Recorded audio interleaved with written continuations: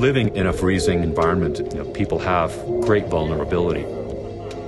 Climbing in the Himalaya for more than three decades, I think what I've learned is that the people that you're climbing with are expecting you to be an aura above them and a net below them.